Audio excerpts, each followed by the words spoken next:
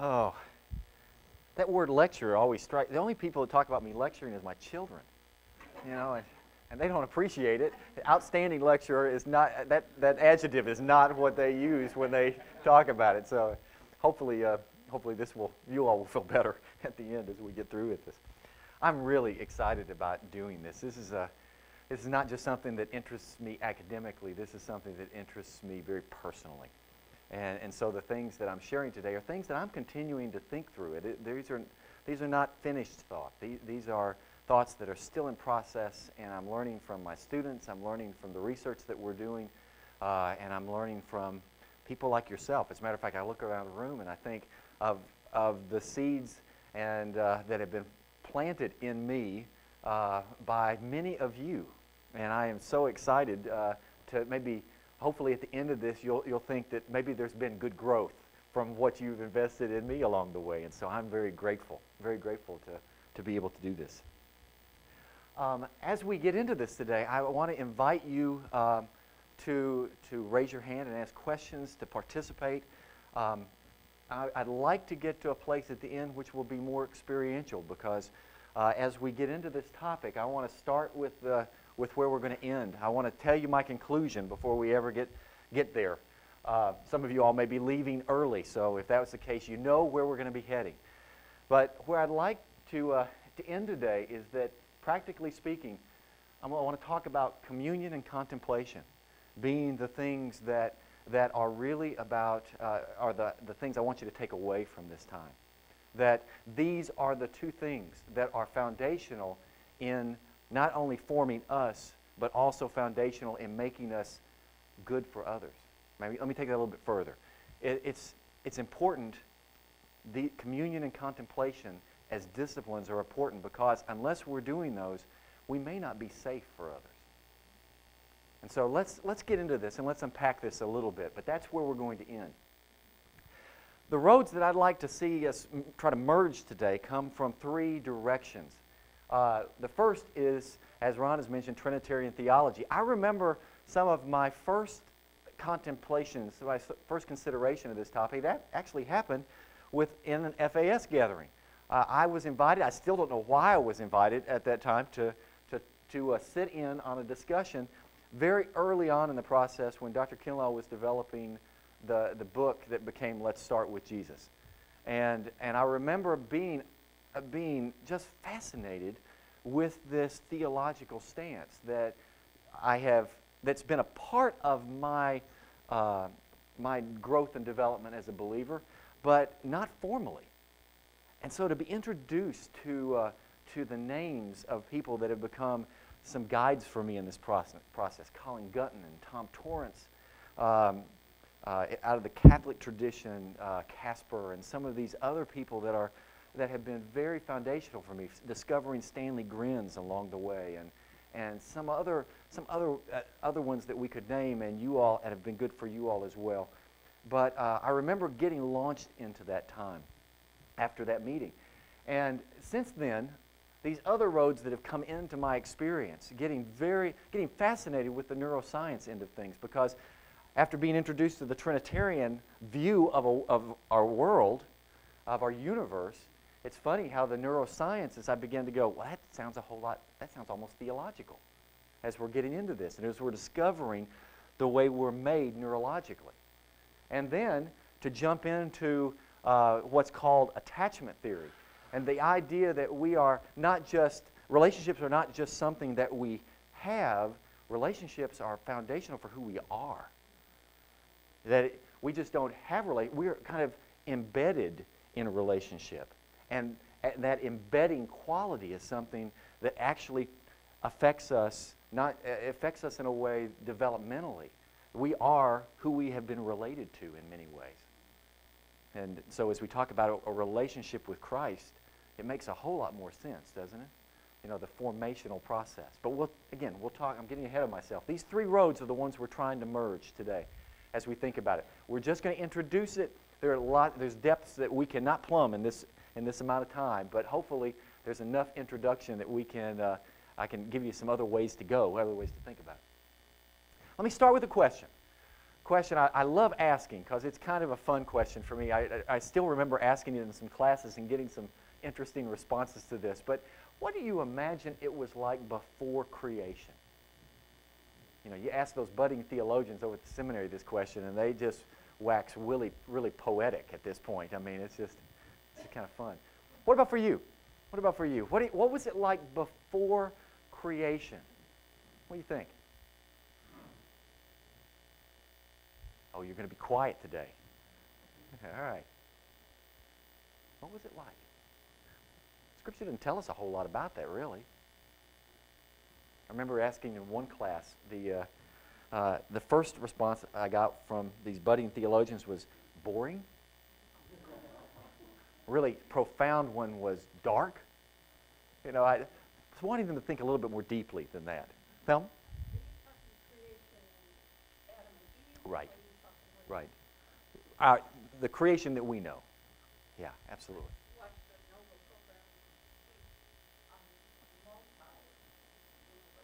Mm. Yes. Yes.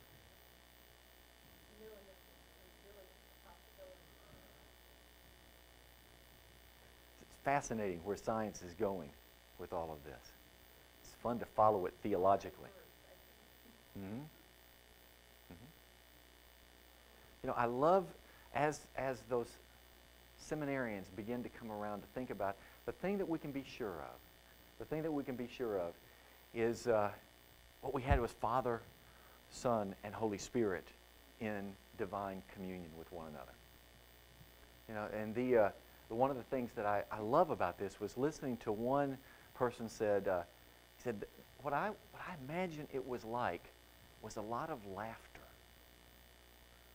And I said, tell me more. Tell me more about what you're thinking about, because I think that's a really cool response.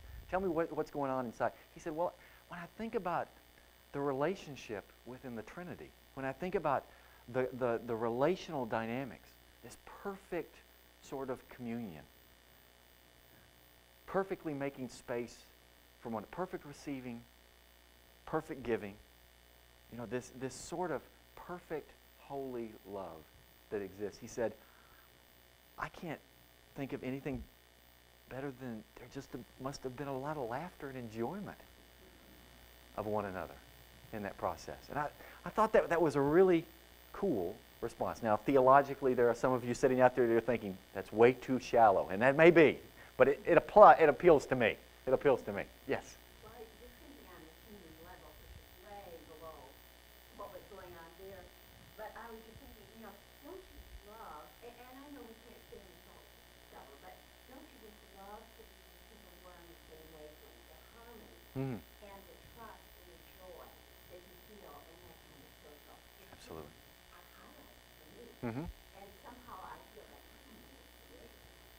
I think, I think that's exactly what that laughter aspect of this, this student was affirming. Yes, very much so. I mean, you think about even in our very finite way, a very limited way, thinking about the what we're like when we're in that relationship where there's that, that closeness and that intimacy and that sense of safety and security and, and there is that, that uh, this enjoyment of living there. It's kind of like, can't we stay here forever? Can't we, can't we live in this, this kind of condition? Doesn't it maybe speak to what we're made to live in? It's, it's just a very profound place, a harmony with no disharmony. Can you imagine it? Can you imagine it? No clocks or calendars. That's absolutely true. Well, just imagining. Just imagine. I love, I love Rublev's Trinity in this depiction of, uh, of the Trinity. It comes out of uh, the visitors that, uh, and looking at Father and Son and Holy Spirit being the kind of the amplification of, of, of that story. Um, but I think, again, it speaks to this idea of what, uh, of what we find within the inner, the indwelled nature of Father, Son, and Holy Spirit this sense of, of perfect, loving communion that we, want to, that we want to see affirmed and we want to begin to build this worldview out of. This is something that not only He is, but it may say something about who we are to be as well, and maybe some hints at that as we look at some of these other areas. I love the, uh, one of the comments I remember Dr. Kinlaw making and, and ended up being in print was, you know, the idea that terms like king, judge, and sovereign speak of what God does, of his rela- relationship to his creation. That's not really who he is before, you know, as we thought, talk about the beginning. That's just not who he is. The best description of who he is is this idea of loving communion. That we're, we're again, I, I hope you're hearing that. I'm sure you are. I keep on repeating myself, but I, I want that to be very strongly a part of our foundational discussion here. This loving communion that is God. And this loving communion that is God kind of trickles down into creation. You know, the, the stamp of who He is kind of moves into the created order. Let us make humankind in our image according to our likeness. That something about this likeness, although you can talk theologically about this from a lot of different angles, but something about it is relational. Something about it is relational. We are made in His image, and this relationality is something that He didn't just create in us, it's just kind of patterned after Him. And when we begin to think about this process, when we begin to think about what this is for, I love this quote from Tom Torrance. And I, I, I, before we read it together, I, I just want to, uh, to say to you, be very careful. The warning here, like uh, on the cigarette package, you know, you got the little Surgeon General's warning. The warning here is this may lead to worship. So be very careful as you read this. Because here we have the living God who reveals himself to us in such a way that He creates in us the capacity to receive and apprehend Him. And He communicates Himself to us in such a way that He lifts us up into the inner communion of His divine being, so that we are given to share in the mutual knowing of Father and the Son and the Holy Spirit, and thus to know God as He is Himself in the immanent relations of Father, Son, and Holy Spirit. Creation is for this purpose for us to share in this indwelled, loving communion between Father, Son, and Holy Spirit. And everything is to support this process of, of lifting us up to share in that experience with Him. If God is best described as loving communion, then we have to suggest that maybe our purpose has something to do with loving communion as well. And that as we participate in that, God has the ability to, to lift us into Himself. And we find what we are to be. We find who we are within those contexts. You know, you get to the end of a quote like this, and it's like do, the doxology or something just needs to be sung. You know, it's just, you, you look at that, and it's like, yes, yes, there's something in me that resonates that this is what I'm made for. there's something in me that says, yes, that's what, I, that's what I'd like. Feels right to me. And it is right because we're made for Him. We're made for Him. We're made to experience in Him in the same way, to participate in this, to share in it. But I'm just telling you things you already know, right?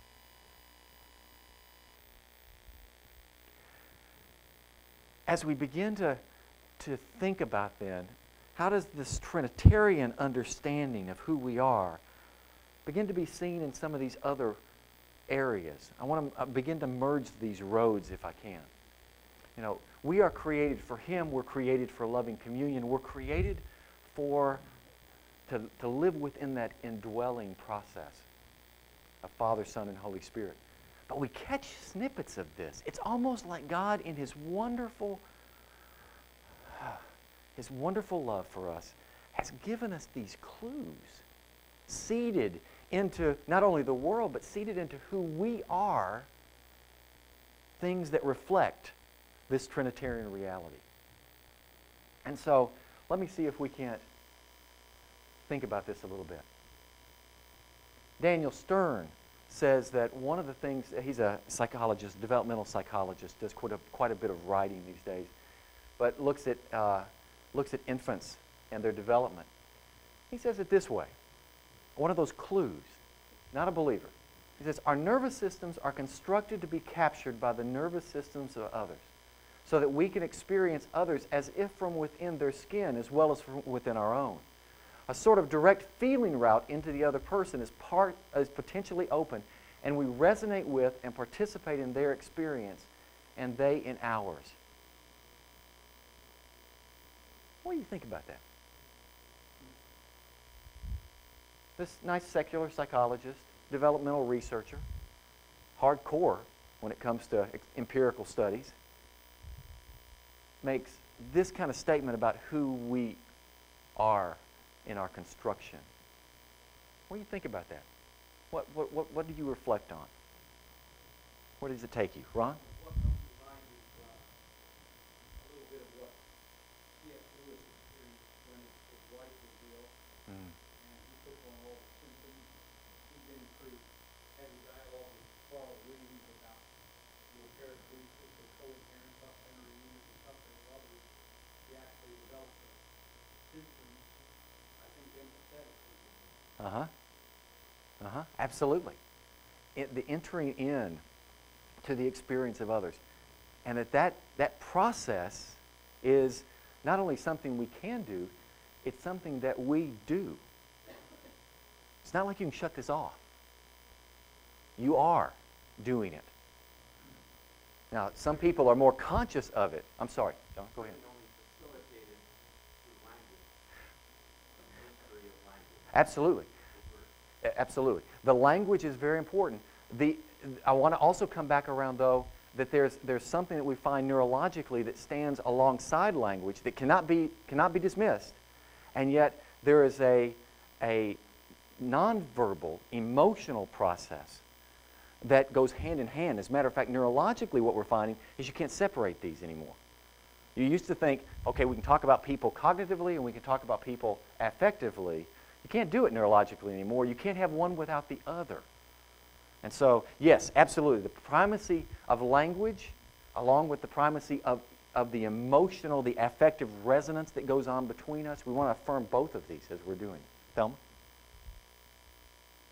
It seems to me that, that from a woman's perspective, this conversation,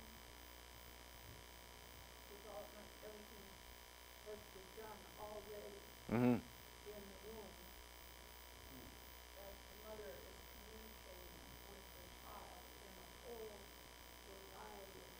Absolutely. Absolutely. Very well said. And the research supports that very process that this that our relationality is actually being carried out in the womb prior to birth. You know, it used to be truly back up to about 15 years ago, there were people that would tell you that children came out in this sort of autistic stage, that they weren't relationally connected until some certain things would happen. And now we realize, now we realize that that's completely false. That children are relational even in the womb. Something happened, I I don't want to get necessarily too personal, but I think it happens in general for many women. Almost from the moment that that conception takes place, there's something inside us that begins to connect. Mm-hmm. And once, once that quickening happens, it's like the child is saying, okay, I'm here, pay Mhm. attention. Mm-hmm. Mm-hmm. Absolutely. There's an other. There's an other in the picture. Yes. And there's an otherness indwelled. There's an indwelled otherness. And again, what an iconic sort of picture for us that God's given us in this. What a wonderful, at least metaphor, that we find for what we're talking about today. Thank you, Dylan. Yes. And I'm thinking of uh, just the opposite when these relationships aren't there. I'm thinking about orphans, for example, who are, who are wounded in ways that you can't necessarily always document. but Yes. This Yes. points to that as well.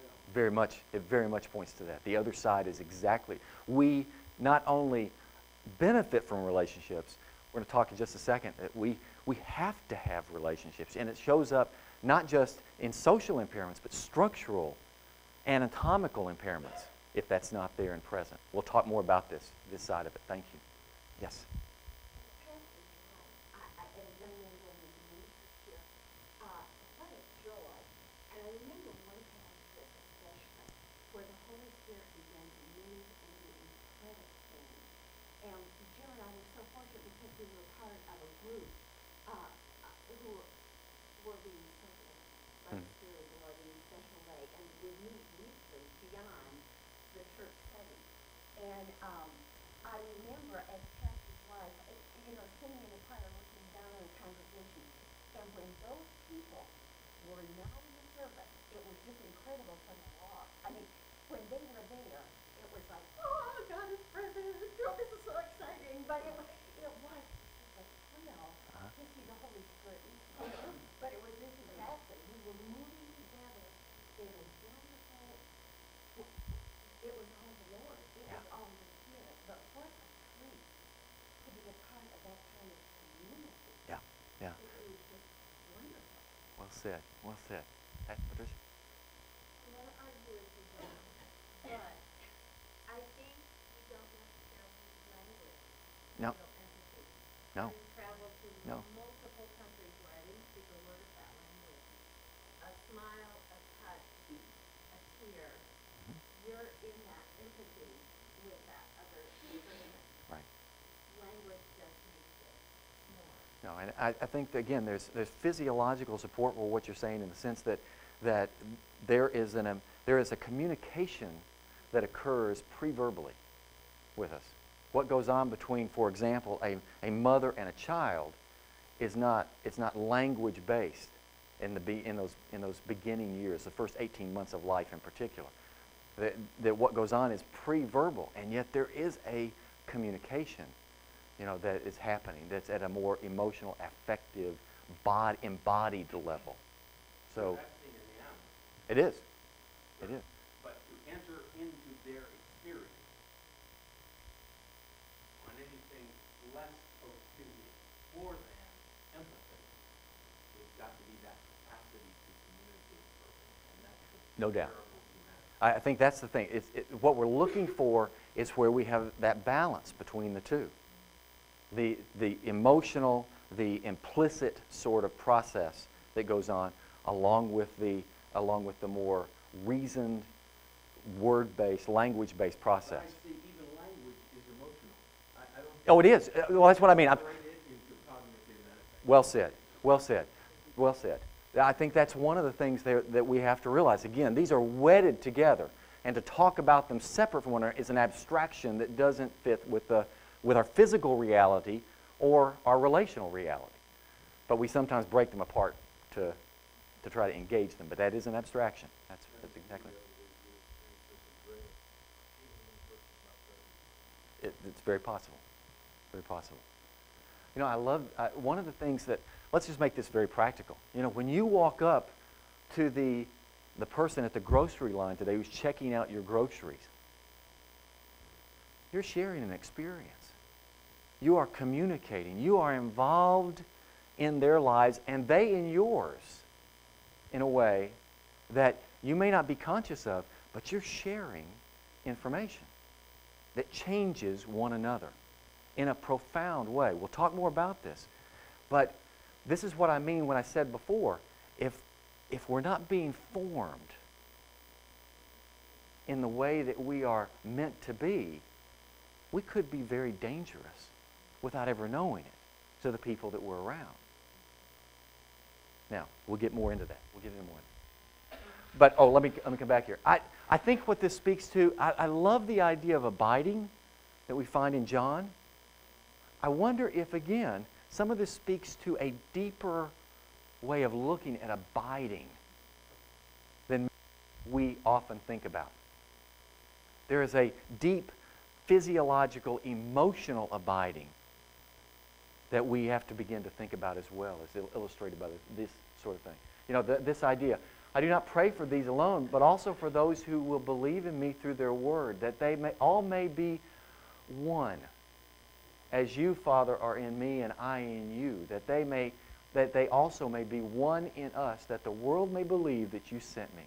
And the glory which you gave me, I have given them that they may be one, just as we are one. I and them, you and me, and they may be made perfect in one, and that the world may know that you have sent me and have loved them as you have loved me. This oneness. Now, here's, here's the hard thought in this. We often talk about the choice to be one, and there is something about that. But there does seem to be, to some degree, a sense that we are becoming one anytime we interact with the person, a person in a relationship. There is a oneness that's happening physiologically and emotionally and relationally, even with a person I'm interacting at a very superficial level. We talk about oneness as imaged in marriage, and that's exactly right. And yet there is a oneness that oftentimes we don't even think about that occurs across the belt with the man or the woman who's checking out my groceries.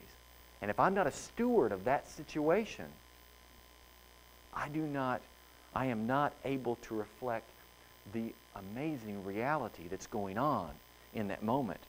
And I not only live in denial of something that could be very holy, that is very holy, actually, Yeah, I mean, when I'm in a second line, I see people coming forward. mm-hmm. What you just been saying, you know, you're really reacting to people. I mean, for me, it's very natural to, to believe. Yes, absolutely, absolutely. That's, that's one of those goals that we miss when we, when we miss this, this sort of abiding process that is always invitational. From, it's always happening, not just invitational. It's always it's happening. There's that movement toward this, this process that we are just oblivious to, oftentimes. I wonder, could you, I don't know what you say this was, but I have experienced it, probably who in this room has experienced it. The, the Jesus in me just is responding to the Jesus Mhm. in you. It is coming, you know, and it, it's just wonderful. It is. Yeah. It's also scary. It's also scary. You know, as we think, the, the beauty of it and yet the profound nature of it is also a little intimidating. It also, you know, talk about the unequally yoked issues, you know, that, that, that, that image in Scripture. The reason why we have, one of the, one of the reasons why we come together in communion as a church and the necessity of that for moving off into relationships that are not safe or to have relationships within the church that are not safe as well. I mean, you, you begin to think about how this plays out. Let's think some more about it. Fred? When, when I was in high school, my grandfather came to live with us after my mom died, or Mhm. my dad died. And I've noticed in over the last uh, twenty years, and my grandfather passed on a long time ago before that, that as people say, well, Fred, where did you learn to do that? Grandpa.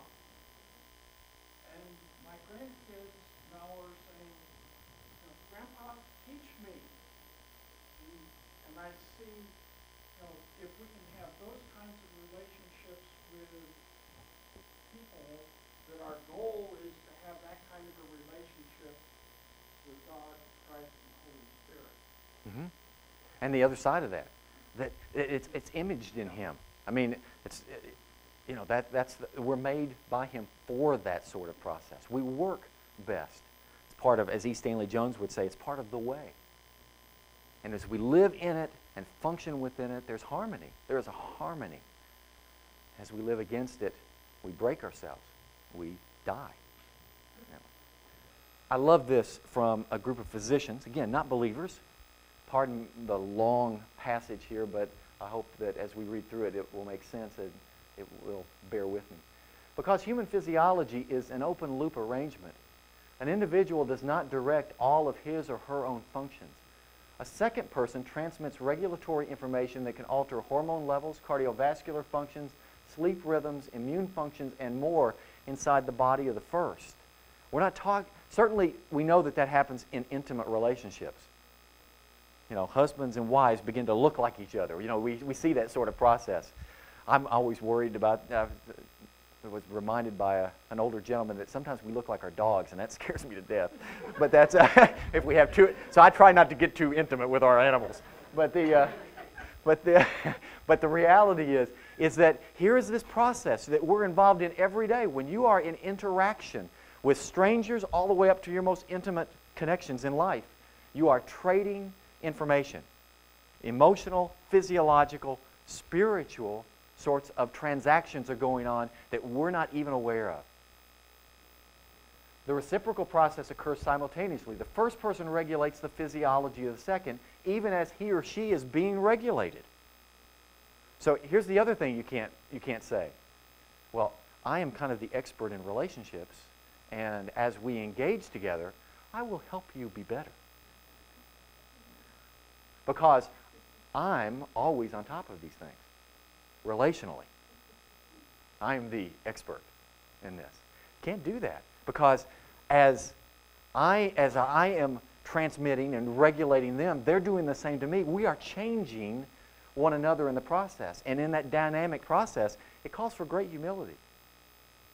Talking with pastors about pastoral care, what does that look like if you are if you go against the older models that just say you as pastor are the effector of other people? What does it mean when you are the affected? As a matter of fact, what does it mean if you're both and you can't necessarily always trust your reactions in the process to be holy and well meaning for the other person? How, what does that make, what, is, what does pastoral care look like in those situations when I am affected by the person that I'm with and I'm affecting them too? It's one of the things we're wrestling with as we engage this, this topic. This last part, though. Absolutely.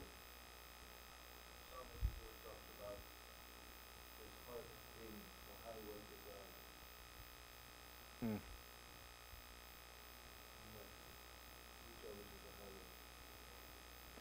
And uh, let me let me take that a little bit further. Each of us is is participating when we as we participate with each other. It's a highway again as we lift one another, as we participate in the lifting into that inner working of the Trinity. So oftentimes we don't we don't come individually.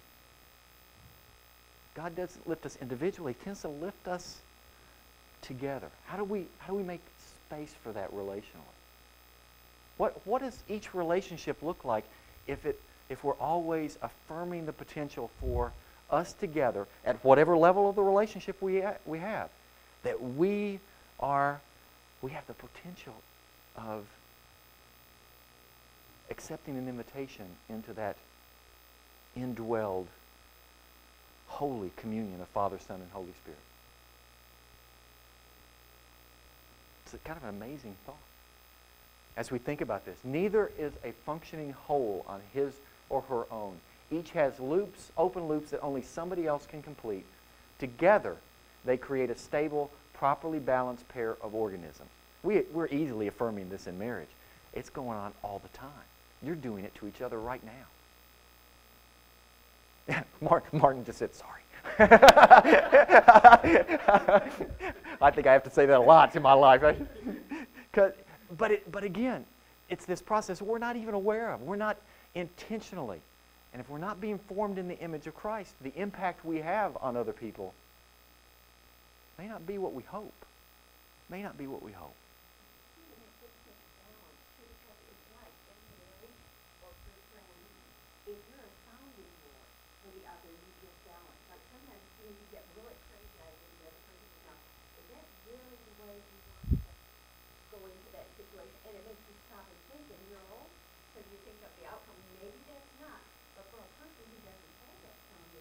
Mm-hmm. They can step into all kinds of medical things because the whole book has a sounding board. Someone that loves it, again, love, someone that truly loves you that will say, you know, um, you want to rethink that. What is that? What is your Mm-hmm. Mm-hmm. It is, absolutely. Absolutely. You know, this idea of perichoresis.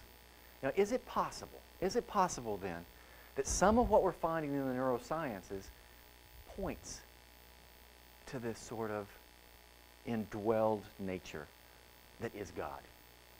Is it possible that some of the things that are being talked about as mutual regulation between me and the person that I'm in a relationship with, whether that's stranger or Carol, my wife, is what's being talked about something that reflects God? Has it been seeded into who we are to point back to Him? Or this idea of attunement, attunement with one another. You know, is it possible that these are iconic sorts of processes that not only tell us something about who we are, but also point back to who God is? I think Trinitarian theology would suggest yes, absolutely. Absolutely. So let's talk a little bit more about attunement, but I want to I want to give you an opportunity to hear someone who's doing some research in this area and let him explain. What, what is, let's talk a little bit more about attunement and mutual regulation. We're going to talk about a form of reciprocal connectedness called attunement, and this is what it looks like. Uh-oh. Okay, this mother a little bit more and volume. this baby Okay, are in a, in a, in a process called attunement. His eyes and her it is, eyes It is going, but I don't have any sound coming. are locked together, not locked together, but dancing together, really. Okay. Let me go back here just a second.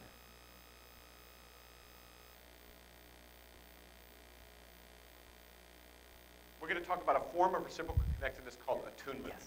And this is what it looks like. Okay, this mother and this baby are in a, in a, in a process called attunement. His eyes and her eyes are locked together, not locked together, but dancing together, really. And in this child's brain, a thousand connections per second are being.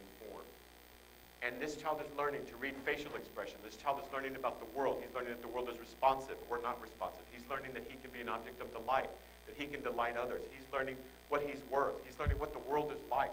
He's learning so much so quickly that we can't even conceive of it. This interaction is critical for human development. Without it, you, you, you're impaired in so many ways. I can't even begin to speak of them. Some of them you see in your courtroom. And so what happens is impulse, the mother, and the mother, by the way, is being changed as well. Oxytocin is being secreted. She's learning. She's, she's actually in, an in an altered state. And, and you moms and dads know that, right? When you're in, in that state with a kid, especially at that age, and they're, they're gooey and all that stuff, you're, you're, you're in a reciprocal interaction uh, state that is the foundation of empathy. Okay, so the impulses come in through the eye, they go to the visual cortex, they come up here to the limbic system, then they go up here to the frontal cortex, and the, the whole brain, it's not just one place that empathy resides. It resides all over the brain, and it's a, it's a process. Here's another example. This, this child is learning to, not just with his eyes, but also in this case with his hands and also with his ears and with a sense of touch and everything else, smell. He's learning his brain is forming a concept of what other humans are like, what the world is like. Now, when you see this, a number of women and the, and the most secure men in the room can feel a tug. Right? You feel a tug. You want to respond to this baby. If that one doesn't get you, maybe this one will. Okay? The, the point is this, is that our midbrains are also at, uh, attached, and we're wired this way as well. We don't just learn this entirely. To respond, and we want to make it, we want to, we want to play with the little thing. You know, we want to, well, you, you, you, all this, the motherese called motherese. These are my little babies, my-" you know, all that high-pitched, sing-songy voice, all of that. That's universal, by the way, in every culture in the world plays those kinds of games with their children at this stage of development because the child needs that in order to learn the phonemes, to form words, in order to, to recognize voices and to understand those patterns of speech and to, and to see the, the reciprocity and to, and to see the, the fact that they're active agents. This is the exa- opposite of being an orphan or being a kid who's been neglected. Now, what percentage of your caseloads are neglect, in fact, compared to abuse? Abuse gets all the press, What percentage are neglect? I would guess 70%, 75%, 80%. Am I too high? No? Yes? Okay. Yes, the general, the general rule is around 80% in certain parts of the country. I suppose it depends on how, how impoverished the, the uh, geographic area that you're working with is. Here's another example. Same thing. Critical. This is what you're looking for. Connectedness, not attachment. Different. Here's the reciprocal play. Peekaboo, peekaboo. Kid is learning object constancy, that the world doesn't go away. See, there's no way that a, a child would know a priori that the world hasn't vanished when it leaves its uh, uh, uh, field of vision. But with this game of peekaboo, which is played around the world, the child's brain learns all these things.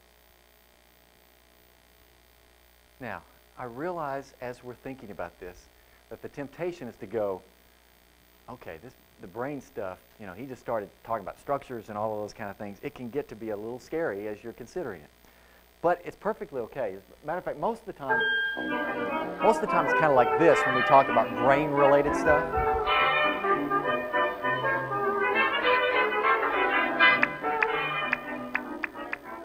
I realize this is what most of us hear, but that's okay. That's all right.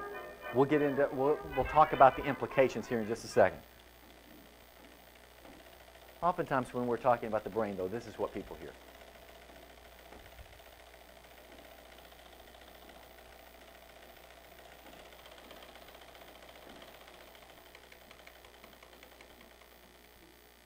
Well, the, uh, the Kants and the Capitales Merck the group poses and overclock the Merger chooses. There's to Venus Chris upon part of Isaac grows together, team would slip at the independent, so forth, frame shows dark vision and auditory slow Resulting friction induces corresponding blip mortalizes, but uh, that all comes out of Kroner's electroperiodic sulfification, which you will underlies in our professor course. Now, resultantly friction and multicentric compulator superless the alleviating Dutch making comtase and together teeth slip temperance and expectance. A reflection inertia corresponds to Hugo Bavertz's supercredit balanced multiplicator equation. E equals to R. E equals 2R, where R is the radius of a home measure of the voluntary factor. Now, pavilion, pavilion stems of parabolic paraceltin reflector lucidity overleads the homovesery and heterovan effect, so that neglectance of man's atmospheric supercontraction causes structure mention of faction county there. So, don't eat them.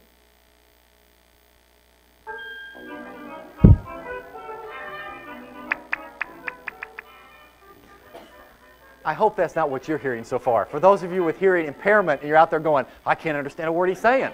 It's, that's the point. That's the point of the whole thing.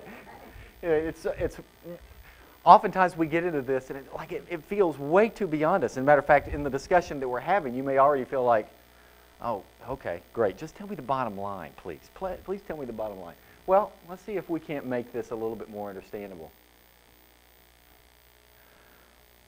Here's the bottom line we are hardwired to connect. We are hardwired to connect. Physiologically, neuroanatomically, we are hardwired to be in relationship with each other. As a matter of fact, so much so that we know that unless there is another brain to connect with, particularly in those early years, but you know the, the stuff that we're that uh, that the last video was talking about, that doesn't end in childhood. That doesn't end in childhood. Adults need the same process. Now, I don't want anybody picking me up and holding me on their shoulders. I just don't want to do that. It's not that sort of thing. But it, it's a different sort of engagement, and yet the same sort of process is needed. Matter of fact, I, one of those things that I really wonder about is to some degree, how, what is the church's role in creating those kind of opportunities for people? But we'll come back to that. This comes out of the Journal of Pediatrics. I love this statement, and we'll walk through it a little bit, uh, because, and I hope you don't hear it as the John Cleese gobbledygook here. But the self-organization of the developing brain occurs in the context of a relationship with another self, another brain. This relational context can be growth facilitating or growth inhibiting. Much along the lines of what we've just been talking about, is that the conditions that we create in relationships are going to cause something neuroanatomically to happen. But what it causes can be things that are growth inhibiting or growth enhancing. We can have good impact on people, or we can have bad impact on people. And that's not surprising to any of us. But we see it neuroanatomically. And so it imprints into the developing right brain either a resilience against or a vulnerability to later forming psychiatric disorders. The relational process that goes on between child and caregiver, mother or father, both are, both are important. Both are a part of this process. But the relationship that goes on becomes neuroanatomical structures. And we'll talk about how that works here in just a second. But I, I want you to realize it's not just these are bad experiences that you got to get out, you got to get away from. These are these are bad things that happen to you, but please get beyond them. No, there is there is a structural part to the process that has to happen. Spiritual change and brain change go together. They support one another. And we have to begin to think about that aspect as we consider the formation and development of people. Now, Babies this it's in the gaze ear- early on. Let me see if we can't. to the emotion, the social interaction that they get from Let me go back here just a second. I'll let you get the first part of that. babies this young are extremely responsive to the emotions and reactivity and the social interaction that they get from the world around them. This is something that we started studying oh, 30, 40 years ago when people didn't think that infants could engage in social interaction. In the still face experiment, what the mother did was she sits down and she's playing with her baby who's about a year of age. I'm like girl. Oh, And she gives a greeting to the baby, the baby gives a greeting back to her. yeah. This baby starts pointing at different places in the world, and the mother's trying to engage her and play with her. They're working to coordinate their emotions and their intentions, what they want to do in the world. And that's really what the baby is used to. And then we ask the mother to not respond to the baby. The baby very quickly picks up on this, and then she uses all of her abilities to try and get the mother back. She smiles at the mother. She points because she's used to the mother looking where she points. The baby puts both hands up in front of her and says, What's happening here?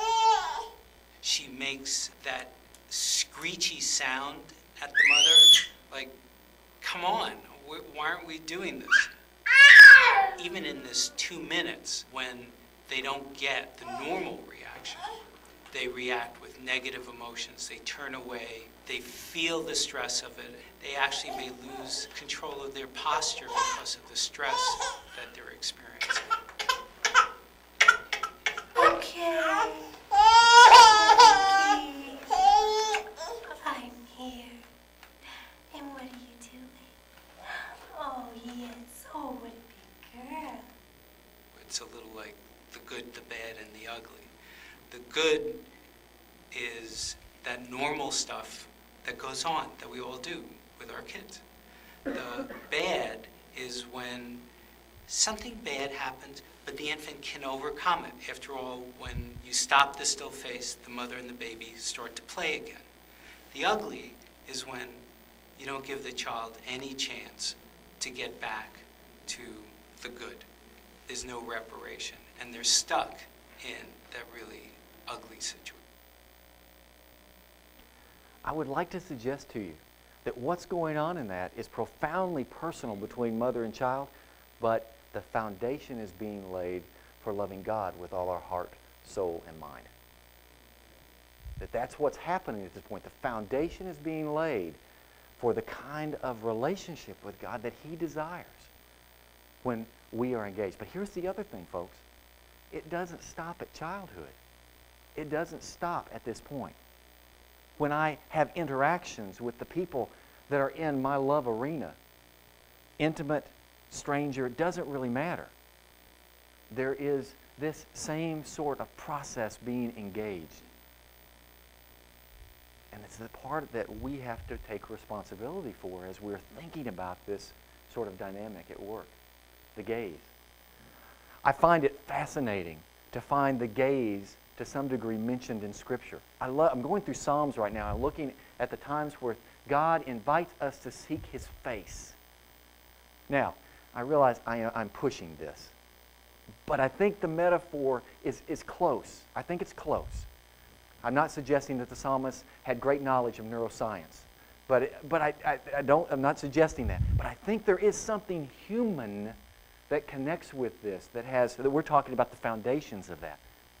You know, this, but you all know Psalm 27. It starts off with the Lord is my light and my salvation. Of whom shall I be afraid? It's, a, it's about fear. It's about living in fearful situations. And at the end of the at the end of the psalm, toward the end of the psalm, we get this.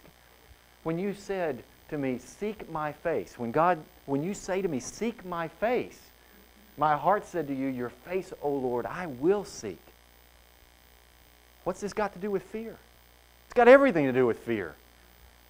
That security that comes even in the midst of it. I, I love that, that kind of the second section in the psalm where it talks about the fact of being surrounded by people that cause me fear.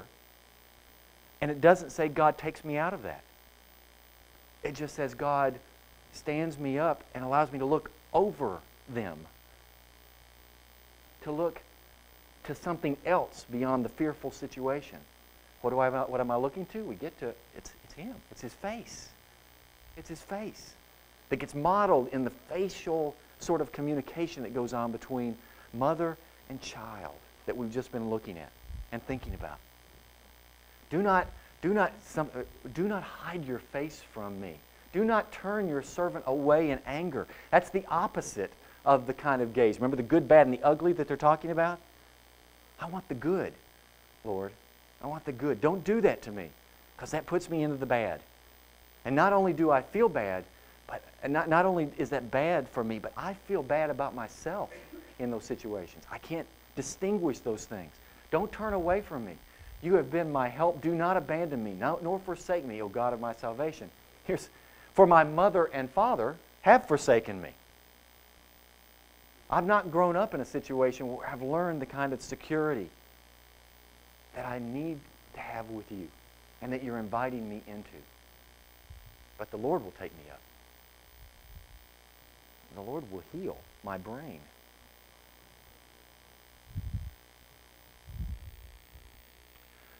Here's what happens. We get this, we get this imprinting process that we're talking about. It is literally an imprinting process. When mother gazes at child, when father gazes at child, and as they begin to, to engage one another, there is this nonverbal sort of communicative process that's very emotional, very implicit, it's, it's based on bodily reactions, facial expressions primarily. But as, as they engage this process, something's happening in the brain neuroanatomically. Let me see if I can share what that is. You have two different parts of your autonomic nervous system. You have the, you have the sympathetic and the parasympathetic. You may remember your biology. The parasympathetic and sympathetic are competing systems. One does one, one does the opposite. The sympathetic does what? Do you remember? What does the sympathetic do? It's fight, the fight or flight system. It's the thing that gets us ready for action. It gets the body stimulated, all the functions that get us ready to perform, ready to act. That's the sympathetic system's job. Parasympathetic is the calm down system, it's the relaxation system. And so, for me to move away from stimulation, for me to relax, for me to calm down, parasympathetic is what does that. That's what's got to be engaged. Now, Here's my question to you. When a child is born, one of those operates completely maturely, and one of those doesn't. It's not fully online yet. You want to guess which one works and which one isn't there yet? Fight or flight, relaxation. It's the fight or flight system that works really, really well. I mean, our children can get upset very easily. They can get stimulated and get overworked. They can go all through all of those processes. But you know the thing they can't do until about they begin the process of learning to do about 18 months? They can't calm themselves down.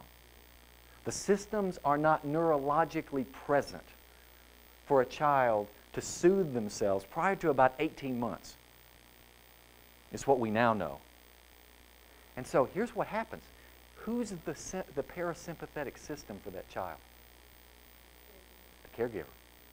The surrogate parasympathetic process happens outside and moves inside and gets concretized in the brain.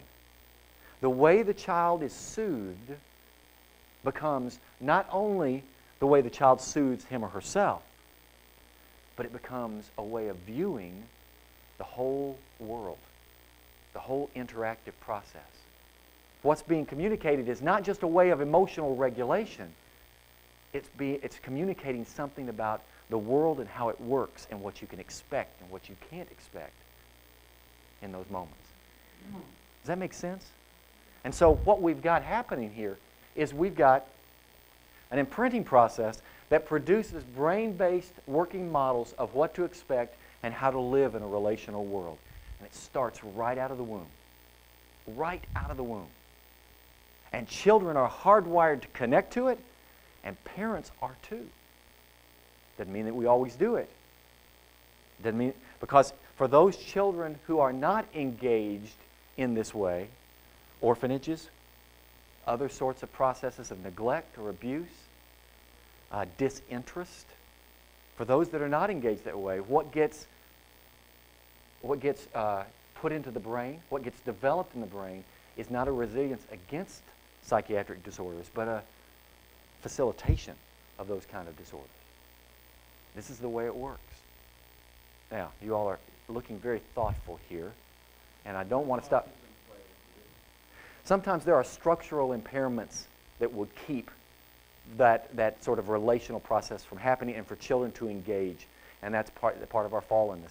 It, that, that does happen. It is. There are things that get in the way of this, even for parents who are working industriously and in a very educated way to do that. And that's hard. That is very hard. It's, it's almost a lifetime of learning what we're supposed to learn in our first 18 months. It really takes that con- continued work with that. Any other thoughts, Sean?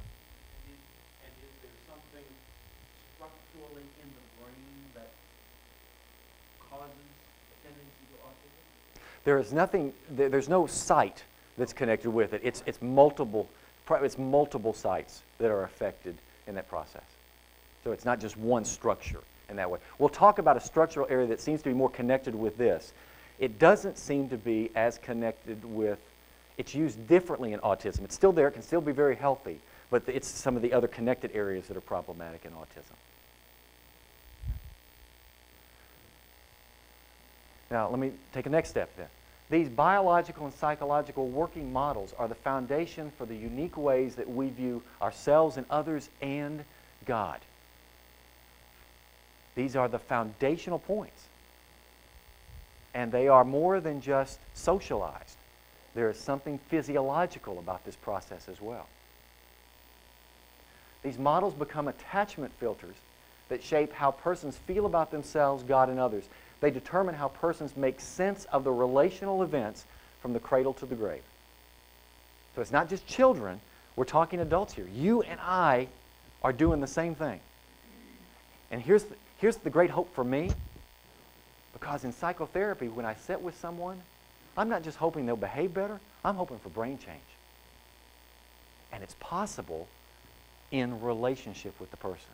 Because here's the amazing thing about it for me. Well, actually, let me come back to that. here's uh, we'll get to this in a minute. Here's the amazing thing. That area of the brain we're going to talk about in just a second remains changeable forever. And it always remains attuned to the relational dynamics that are going on.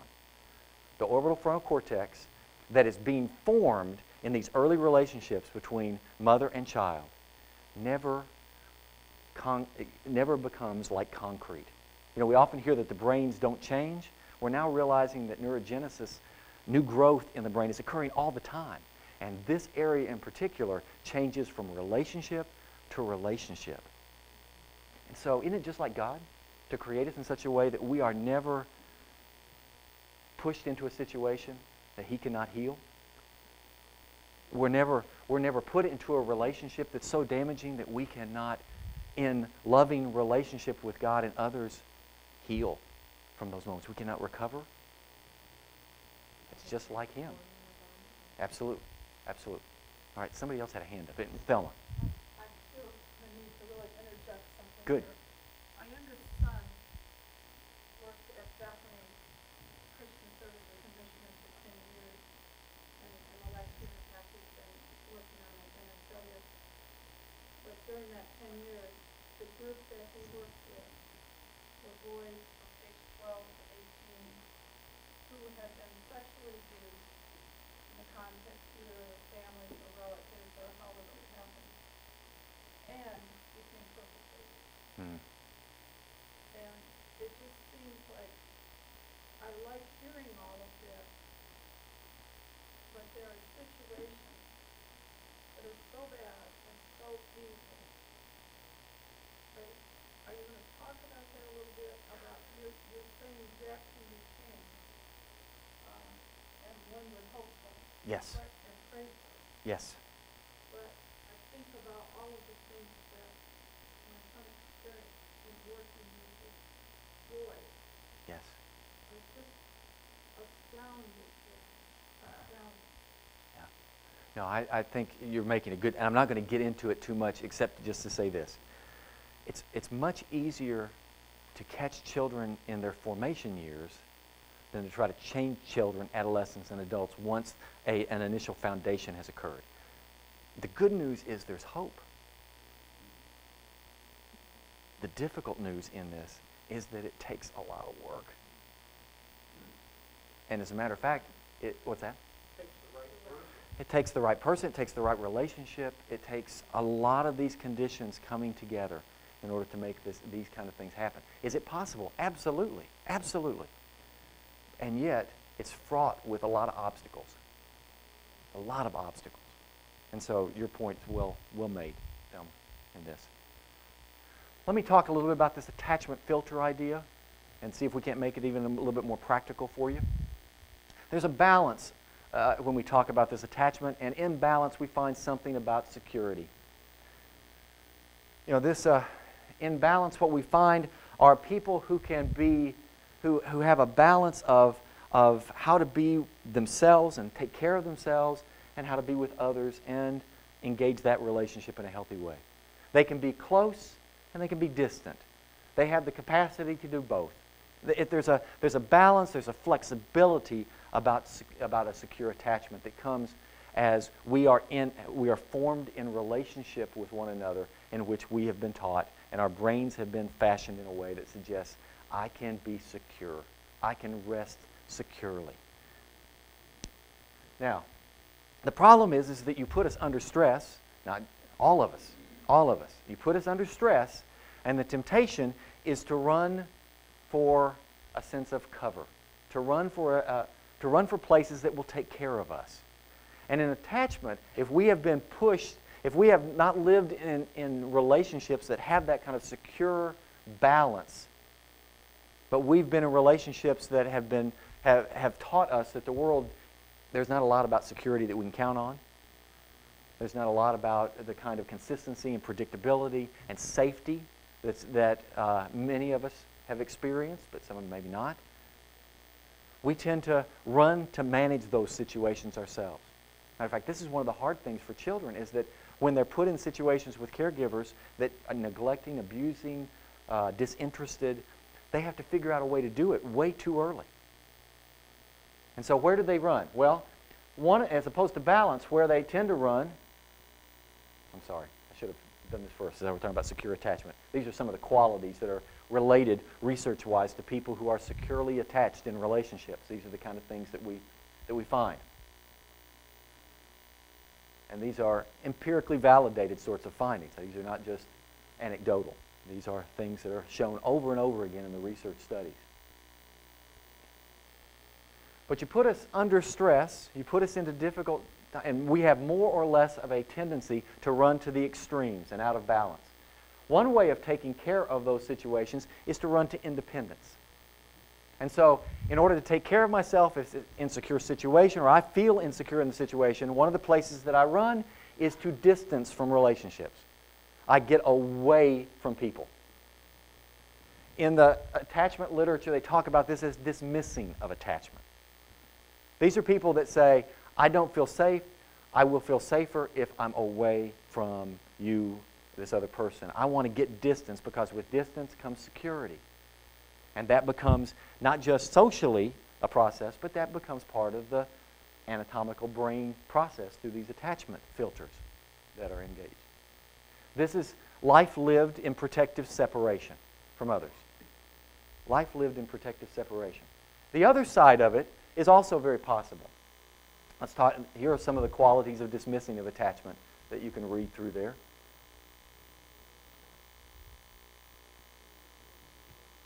You know any people like this? People who, when you greet them, what you feel is more distance than invitation.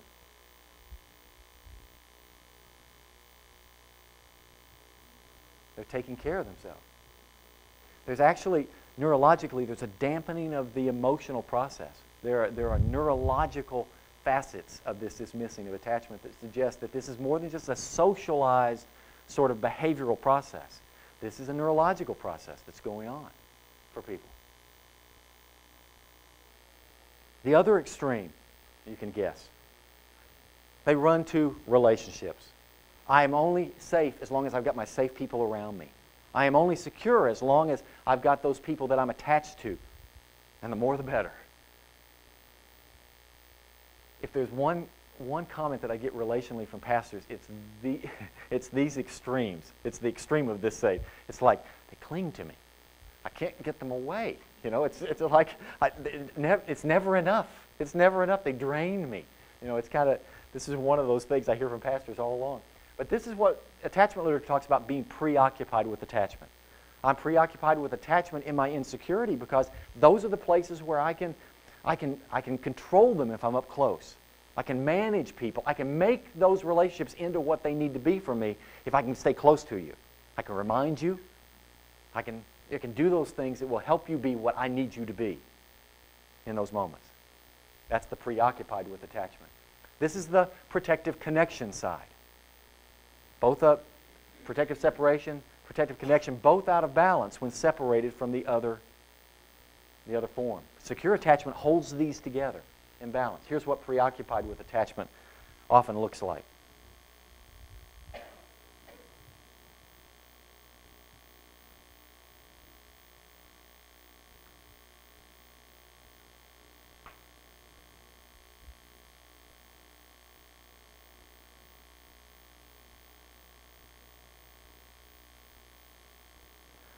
The hard part with pastors is you're working with those, these kind of people is to realize that this isn't just a choose to be different sort of problem.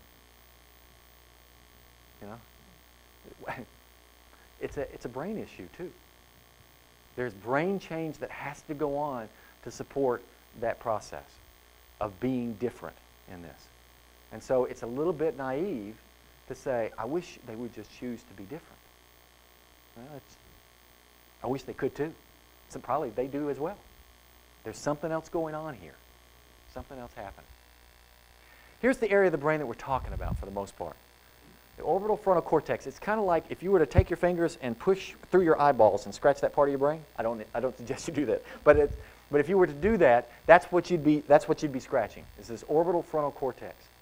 This is the area of the brain that is most relationally attuned. Matter of fact, it's formed early on. It's the, the large area for formation occurs in those early years of life.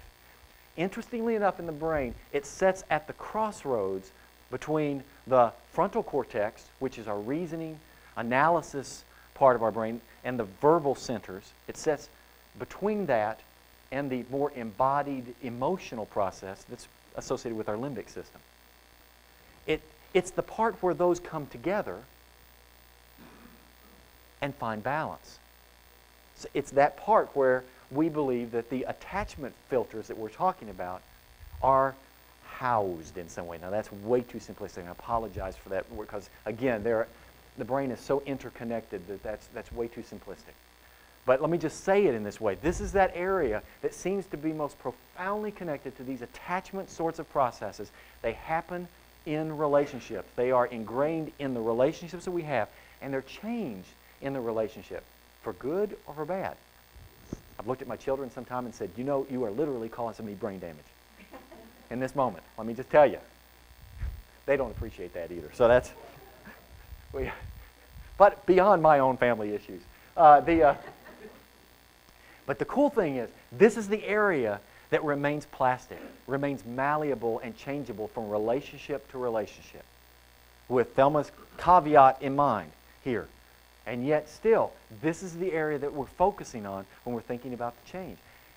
Emotional regulation, the way people regulate their emotion in light of the relationships that they're in, this is the, this is the prime mover. This is the area that we find for them. So, formation, the formation that we talk about, we talk about spiritual formation, and as we should, being made in the likeness of, uh, being made in the likeness of Christ. This formation must create, that we must create the conditions for corrective emotional relational experiences as well as knowledge based learning if people are to grow into that image. It requires a community as much as it requires learning. Because people, how many times have you said, I know that, but I just keep on doing this? Sounds like Romans 7, doesn't it? I know that I, that's not, I know I shouldn't do that, but there seems to be this process at work in me. Now, again, I know I'm, I'm simplifying something that's much more theologically profound than this. But to some degree, is it possible that the corrective experiences, the, uh, the, the things that they're hoping will change them, are just knowledge based and not engaging in the community that may actually scare them to death? And how do we, as the church, become a part of that process? If the church is the face of Christ in the world, what does our gaze look like? Is it inviting? Is it disinterested? Is it neglectful? I wonder. I wonder about that. Neuroscientist Louis Cozolino at Pepperdine says it this way Loving relationships help our brains to develop, integrate, and remain flexible. Through love, we regulate each other's brain chemistry. And when our drive to love is thwarted, our mental health is compromised. Sounds a whole lot like where we started in this, at least to me. We are made for love, and we see it in, infleshed in us. Now, let me just say uh, one final word, and then we're going to stop, and we're not going to be able to do the experiential exercise, which, ah, all right. I'll live with disappointment. Um, here's the interesting thing. On the basis of all the things that we've talked about, I want to go back to this idea that we are not just the effectors of change in people, but we are the affected as well. That one of the things that we, we find is that how compelling it is for us to respond, uh, to provide complementary responses to strong interpersonal messages. See, it's kind of like this. We oftentimes like to think, because in our own desire to control and to feel like we're the masters of our own destiny, that um, it's kind of like it's kind of like we have we have emotions that kind of may fill us up at times. And I'm just responsible for those emotions. And we say to people, they come into our offices and we talk with them and we have this expectation, you take care of your emotions and I'll take care of mine and we'll all be very happy. Oh, that it were so simple. See, the reality is, is that, yes, I have my emotions that I've got to be responsible for. And this other person in my congregation has their emotions that they've got to be responsible for. But what we fail to realize is that these two cups are embedded in an emotional world and float within those sorts of dynamics. Am I responsible for my emotions? Yes, absolutely. Absolutely. Being a steward of our emotions, absolutely important. Are the, uh, do I need to expect, maybe create situations where this other person takes responsibility for their emotions? Absolutely, absolutely.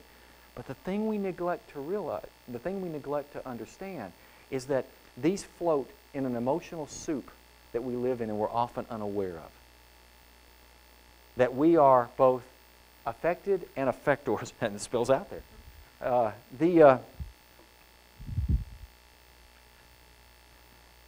what that means, what that means is that we have to recognize as we move from relationship to relationship that we are always impaired. Always.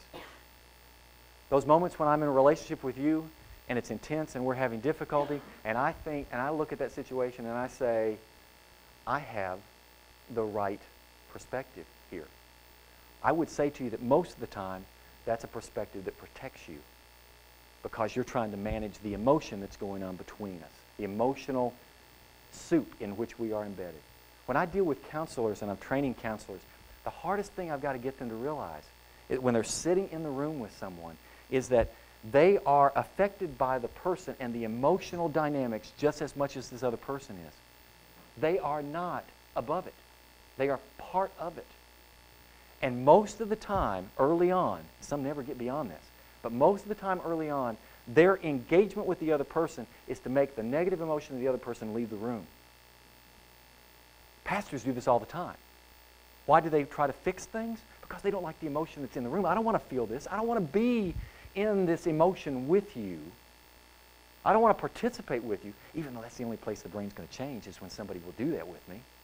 I don't want to be in this. This hurts me. When you have negative emotions, when you're angry and upset, or you have all of these intense emotions, I don't want to sit there with you because I'm being affected by that. I'm being affected by those things that are happening. So, what's the best way to get that to go away? I fix you. I just fix you. Let me tell you what God says about that. Don't you feel better? Oh, good. The emotion's gone away. That's good. Whew. Now I can rest. That's the problem. That's the problem that we've got to address. If we are wanting to be people that not only are being personally formed so that our brains support the kind of image of God process that we're thinking about, we've also got to think about the other side of that, which is how do I participate with this other person? And brain change with other people means that I've got to walk with them in the negative emotions that pain me too. But then again, that sounds a whole lot like Jesus, doesn't it? And I do that not by telling them where they need to go, although that may be a part of it. But that, without the corrective sorts of experiences of relationally engaging it with them, doesn't create the kind of brain change that we're looking for. All right. That's probably the best place to stop. I just remind you that here's the two disciplines that train us to do that communion and contemplation. Quick word about contemplation, and then I'll leave it at that. Good, substantial research right now that suggests contemplative sorts of exercises affect an interesting part of our brain. You want to guess which, what area it is? It's the orbital frontal cortex. It's real funny that this individual sort of activity that some people have put aside because it's too self oriented. Actually, it's changing the area of the brain that makes me better for other people. Isn't that ama- amazing? Very interesting to me. People who engage in contemplative sorts of exercises are better at empathy than those who don't. I suggest to you then, it's, the communion is a no-brainer. We need to be in communion with other people. The contemplative process, though, is something that I think the research is beginning to show lays the foundation for being the kind of loving people that we need to be. Changing us, but also being the persons who participate and create the conditions for brain change in others in a positive way. Let me stop at this point and, uh, and let me pray for us, and then we can talk while we eat or do those other kinds of things. But Lord Jesus, kind, Father.